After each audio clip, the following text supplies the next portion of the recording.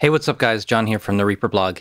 In this video, I'll show you how you can use EQ while you're editing audio to fix problems such as P-pops and a fizzy F sound.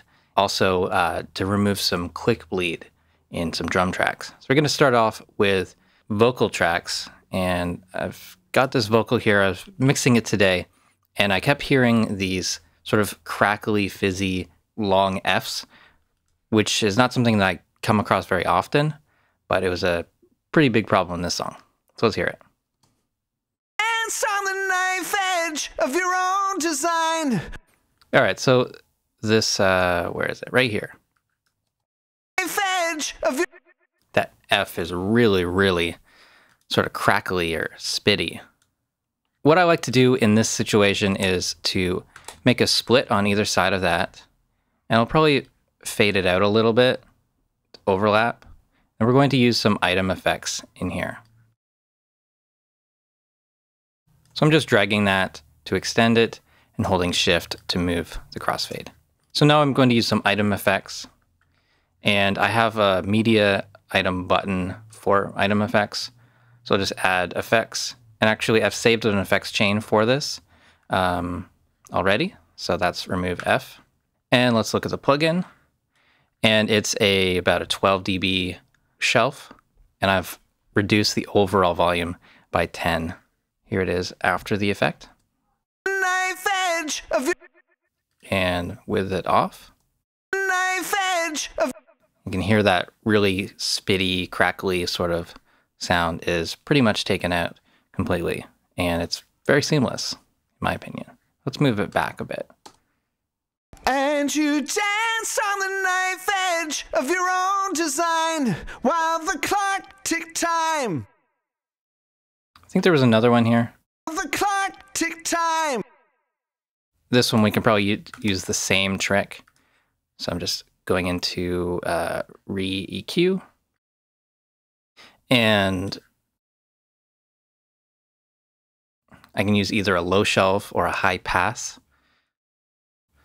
Let's try it something like this, just to kind of clean up this item here. While the clock tick time. While the clock tick. While the clock tick time. And it's pretty subtle. I could I could probably even do it here. And one quick way of copying that over is just clicking and dragging the effects button. And this is really kind of nitpicky stuff, uh, but sometimes it makes a really big difference in the mix. of your own design while the clock tick time. All right, let's scroll over to another section of the song where uh, I've done something a little bit different. So, so here's one I did earlier in a different section of the song, and it's basically the same thing, a little more extreme. I've got this low shelf cutting everything out at 4,700 hertz. So here it is. But you never had time to face the elephant. That was the one that really made me want to go in and and investigate this problem. Let's hear that with the EQ turned off. You never had time to face the elephant. Yeah, so that's the worst one in the entire song, and I think this worked pretty well to get rid of it. So I'm cutting out all the lows, which is a little counterintuitive because that the sound is really more in the high end, but this is what I found worked. So again, with it on, You never had time to face the elephant. it just works a lot better. It doesn't stand out in the mix as sort of like a crunchy distortion.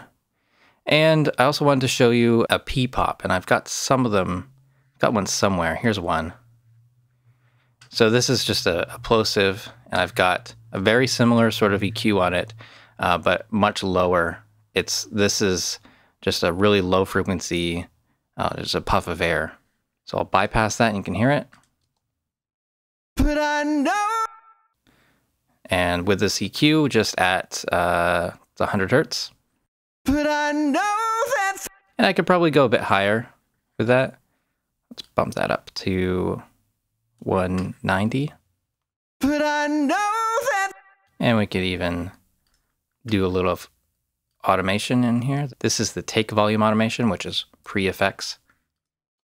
But I know that they're wrong they So that's much smoother, uh, just a lot more control o- over these sorts of sounds. This vocal has a lot of compression on it, so every little detail matters because it's just as loud as the loudest note. I also want to show you in a drum mix where this trick can be uh, used. So I'm just going to scroll this over so we're revealing the original audio. So this is a drum kit. It's an editing project and it's pretty roughly mixed. Uh, but there's some click bleed during this section. It's just a, supposed to be a sustain.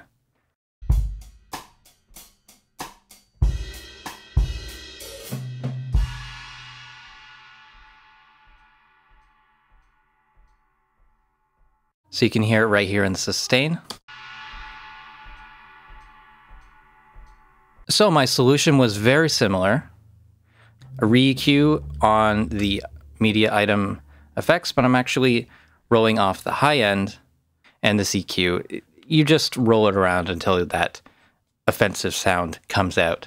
Uh, so this is 2.2 kilohertz. Because there are 12 or 14 drum tracks here, there is a trick to getting that, so you only need to do it once. So I set it up on the first item, and then I ran the action. It's actually a script copy effects of item under mouse to selected items active takes. But here's the thing if I'm running this from the action list, uh, it's looking for the item that's under the mouse. So it's not really going to work, but I run it anyways. And then I use a different action, which is this one, repeat the most recent action. So now when I mouse over it, it will actually copy the effect to all the other items that are selected. So it works really, really well. That little effects button, where do you get it? How do you see that on your items? So that's in preferences and appearance media. And we're looking at this here, per take effects and no effects. So click on no effects and then there will be this little effects icon here where my mouse is. So that's easier access to get to the effects chain.